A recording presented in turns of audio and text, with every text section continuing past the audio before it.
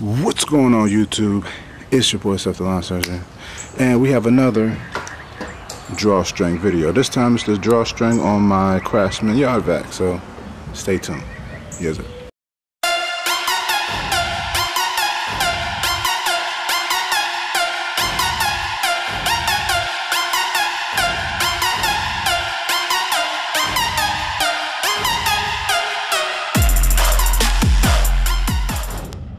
Alright people, as you can see there is one important factor missing with this picture and that is the drawstring.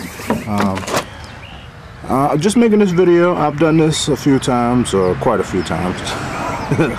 Being in business in lawn care, you're going to break a few drawstrings, especially with old machines. And it's a simple fix, just knowing how to do it. But you are going to need a couple of tools and you'll see the tools that you're going to need. Um, first thing I did, uh, if you see right here and right here, I removed the cover.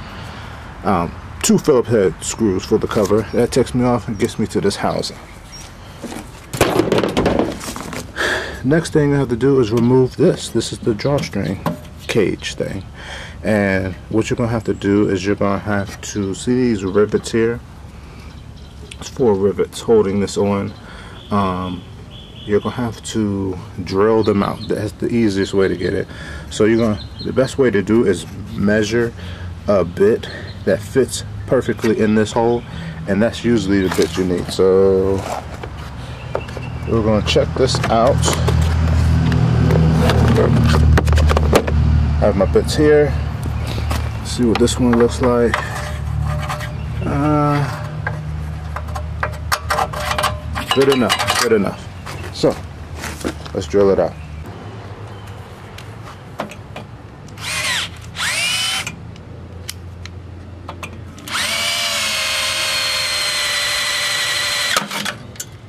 One. Alright, as you see I got all those drilled out. And um, then this should come right off like this. Like, you know, a little dirty because it is a yard vac, so. So, now, time to recoil this bad boy.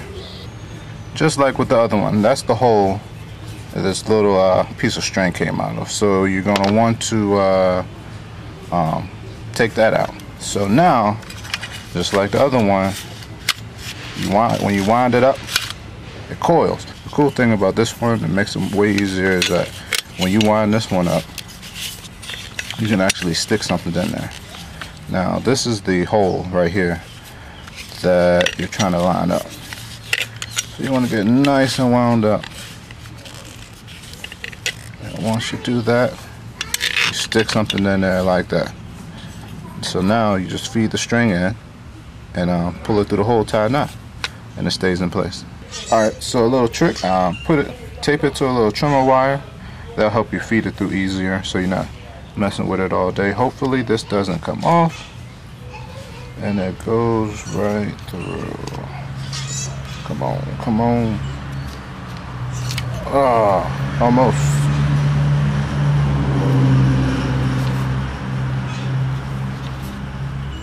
Come on. I think I got the thing through. It's just the tape. Just holding it up. I got a little needle nose here. And you just there we go. You got it through. Yes, sir. Alright, so once you got it uh, fed through, like so, there's my knot. And you go ahead and um, pull out.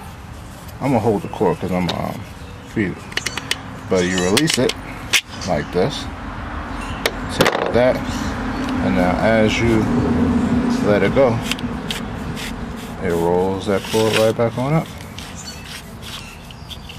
Bada bing, bada boom. Just like so. Alright, so these are the rivets, medium rivets. Don't get me to explaining all of this stuff. I don't know how to explain it, but um, for a long time I used to get ones that was too long. And if you get it and it's too long, then this piece will get caught in a flywheel. So let me show you how I put them on. Alright, so it's real simple. If you uh, understand how to do it. So this is your rivet gun. Oh, getting it. This is your rivet gun. you take the long end of the rivet and you stick it in there so the short end sticking out. You get the short end in there into the hole. Make sure it's nice and straight. And in there, and then you're gonna squeeze the rivet. Okay. Squeeze it. Squeeze and about on the third time, it should break off. Bam. Twist it, and it's in there. And you just do that three more times, and a little rivet piece will come out like that. Do it three more times, good to go. All right, so we got this back into place. Let's give it a pull, make sure everything is functioning pro properly like it's supposed to be. It seems like it is. So, I'm gonna, before I put the cap on, I'm gonna go ahead and get a little, little test start, see if it starts up. All right. Let's see what it do.